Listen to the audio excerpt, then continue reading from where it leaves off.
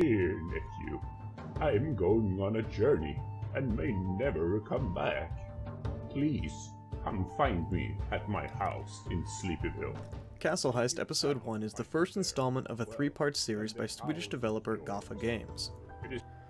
Set in your traditional medieval kingdom, Castle Heist takes players on a winding adventure full of sneaking, waiting, reading, crouching, and more waiting. Like most stealth games, Castle Heist forces players to slow down, evaluate their surroundings, and plan out the best approach to any objective. Or, at least that's what it tries to do.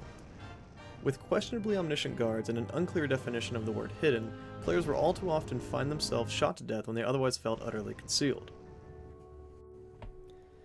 The lack of a clear set of rules for what counts as hidden and what counts as standing in the open with a bright neon sign over your head derails the game entirely, and everything onward becomes a 50-50 gamble. I don't mind waiting 3 minutes for a guard to pass on patrol, but I'll lose my mind if he sees me through the stone column at the 2 minute and 59 second mark. Apart from questionable stealthing, the game itself is rather bland. The environments are pretty enough, but the lack of NPCs, collectibles, or actions leaves something to be desired. If the first episode actually lasted longer than 40 minutes, I might even say it was boring.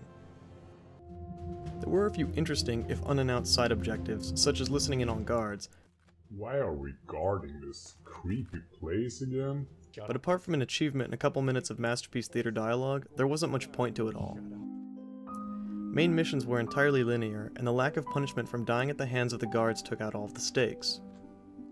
A good stealth game should have you on the edge of your seat, counting in your head the seconds until a patrol passes by and leaves you an opportunity to sneak around. Castle Heist, by comparison, leaves the door wide open with a sticky note saying, Do not enter. In the end, I gave episode 1 2.5 stars. There's plenty of room for improvement for the next two installments, and I can only hope that Goffa Games takes what they learned from episode 1 and applies it to the next two.